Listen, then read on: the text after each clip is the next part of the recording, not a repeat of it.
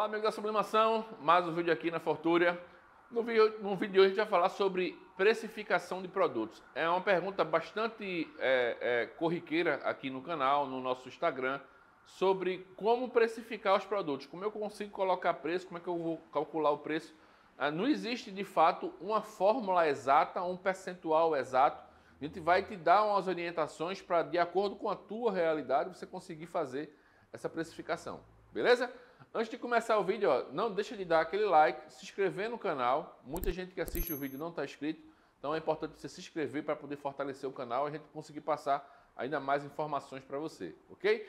Lembrando, todos os itens que eu mostro aqui nos vídeos, não só nesse, mas em todos os vídeos da Fortúria, você tem a possibilidade de comprar na nossa loja física, que é aqui na Abdias de Carvalho, número 362, Madalena. Você tem a possibilidade de comprar pela nossa loja virtual, se você não é de Recife, não tem condições de vir aqui na loja física. Compra pelo site e despacha para o Brasil todo. www.forturia.com.br barra loja e também pelos nossos WhatsApps que eu vou estar colocando aqui na descrição do vídeo. Beleza? Vamos lá. Oh, sim, mais um recado. Estamos com curso de sublimação online. Temos o presencial e temos o online. vou estar colocando o link dos dois aqui com as, com as informações.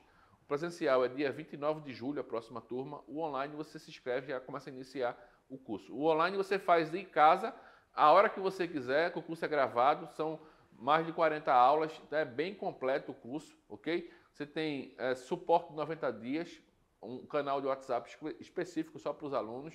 Você tem pacotes de artes, tabela tempo-temperatura, calculadora de custos, que a gente vai falar aqui um pouco, ok? É, muita coisa que você ganha de bônus, além do curso completo, que é, para quem está querendo começar, é um caminho das pedras. Ah, vai te dar um norte muito bom. Vai principalmente evitar que você caia em várias armadilhas que tem hoje no segmento para quem está começando. Muita gente começa errado por conta dessas armadilhas. Então é importante você fazer um curso para você não cair nesse tipo de armadilha. O curso ele se paga é, é, 10 vezes só de evitar problemas que você é, pode cair caso você não tenha conhecimento e queira iniciar sem conhecimento na sublimação. Beleza? Faça o curso que você não vai se arrepender. Valor extremamente acessível. Você parcela em 12 vezes de R$19,66. Dá menos de 20 reais. É um lanche por mês. Então, valor extremamente acessível. Você consegue é, é, se inscrever no curso, fazer, ter um conteúdo extremamente é, completo sobre sublimação. Juntei aí quase 20 anos de experiência no segmento e consolidei tudo no curso. Tudo organizado para você fazer as aulas bem completo. Recomendo que você faça. Beleza? Vamos lá. Ó, como eu vou precificar produtos, ok? É, e principalmente a pessoa pergunta como é que eu coloco a margem de lucro, ok? Vamos lá. Para você é, é, fazer a precificação de produtos, o primeiro ponto que você vai precisar saber é quais são os, os seus custos. A gente tem os custos diretos e os indiretos. Quais são os custos diretos? Custo direto de uma caneca, por exemplo. A caneca, logicamente, o papel que eu vou usar nela, a tinta que eu vou usar nela, a energia que eu vou gastar para personalizar ela, o desgaste da manta da máquina que eu vou ter que trocar uma hora, tudo isso é custo direto, ok? Ah, ah, você vai calcular, você tem que saber quanto você gastou de tinta, quanto você gastou de papel, quanto você gastou de energia e quanto você gastou de manta. Então, a manta dessa, por exemplo, se for da nossa máquina, ela dura 2 mil aplicações. Você vai pegar o custo de uma manta nova, dividir por 2 mil, vai saber o custo da aplicação. Por exemplo, custo do papel.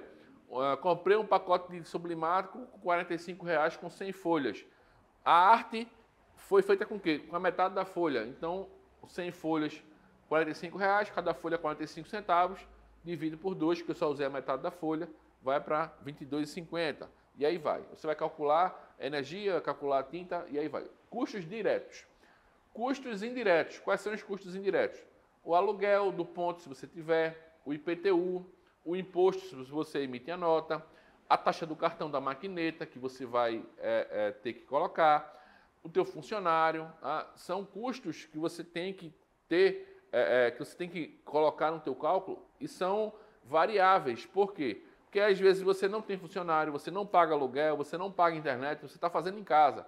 Então por isso que não existe uma fórmula pronta. Cada pessoa vai ter que analisar a sua realidade e, de acordo com a sua realidade, fazer o cálculo de, de custos, ok? Na sublimação, a gente tem com a regra é de, no mínimo, uma margem de 100%, ok? Quando a gente fala de 100%, logicamente que são em relação a custos diretos. Não estou aí colocando custos indiretos. Eu vou usar de novo aqui a caneca como exemplo, ok? Por exemplo, caneca, preço médio, pelo menos aqui no Nordeste, é vendido por R$ 29,90. Alan, eu quero vender por R$ 99,90. Beleza, mas veja que você tá, você tem que ter aí um preço dentro da realidade de mercado. Se você vai vender só a caneca básica pronta, assim, ó, sem nada, sem embalagem, você vai ter que adequar o teu preço à realidade do mercado.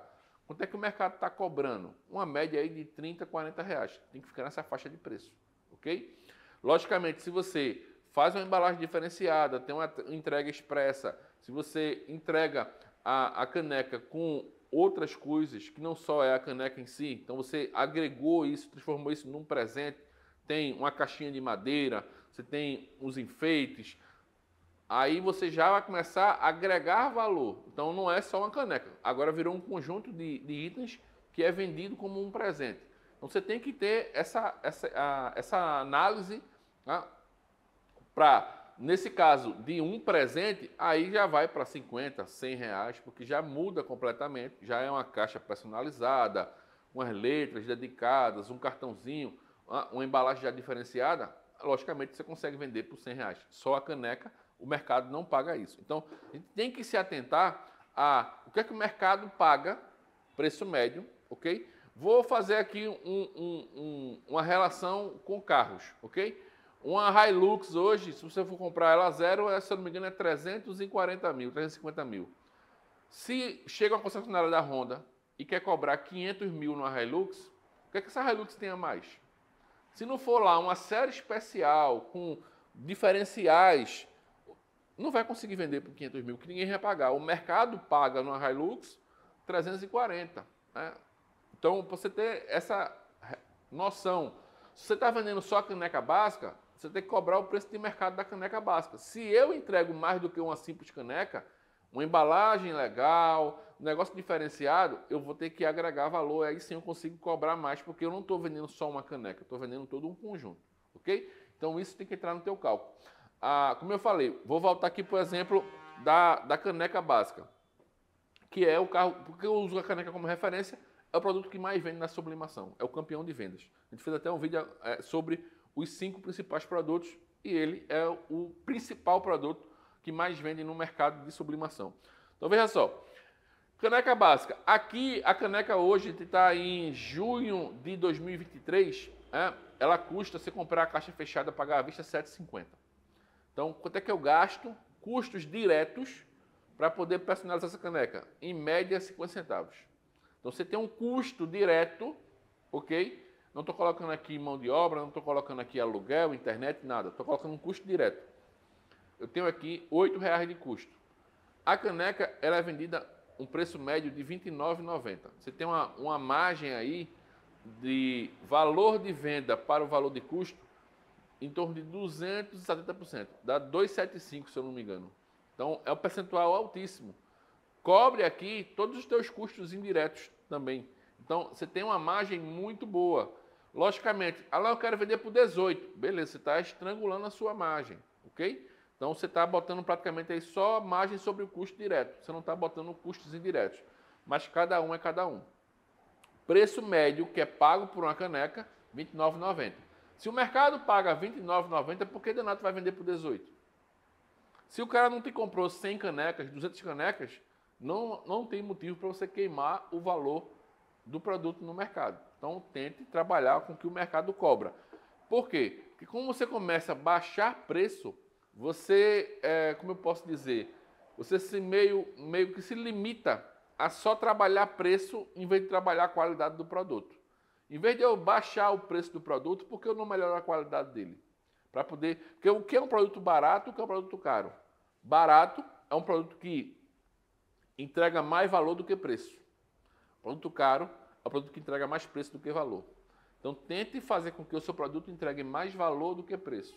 Valor é todo um conjunto. O atendimento, a embalagem, a qualidade, isso é valor. Preço é o que está na etiqueta, tá? é o que é cobrado pela caneca. Então, Um produto é barato quando ele entrega mais valor do que preço.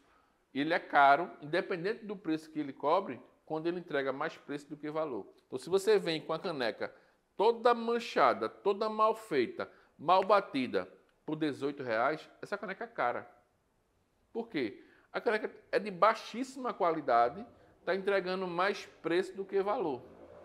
Veja que o preço dela é mais baixo do que o mercado paga, mas ainda assim é uma caneca cara. Quando você pega uma caneca bem batida, perfeita, brilho, com embalagem, vender por 50 pau, essa caneca é uma caneca barata, porque ela entregou muito mais valor do que preço. Sacou? Então tenha essa noção. Tente sempre melhorar a qualidade para você entregar mais valor do que preço. Fica fácil você botar uma margem saudável ali para trabalhar nos produtos, ok? Lembre-se, como regra, sublimação, no mínimo, você vai trabalhar com 100% de margem. Por que 100%? Porque você vai ter alguns produtos que você vai perder batendo, às vezes fica com falha, ah, ah, às vezes você não consegue eh, sublimar direito, às vezes a impressão sai ruim, você vai perder mais de um papel. Então, você tente sempre trabalhar com a margem de no mínimo 100%, para você ter aí uma margem saudável para o teu negócio é, é, conseguir crescer. Beleza? Espero ter ajudado. Forte abraço, fique com Deus. Até a próxima.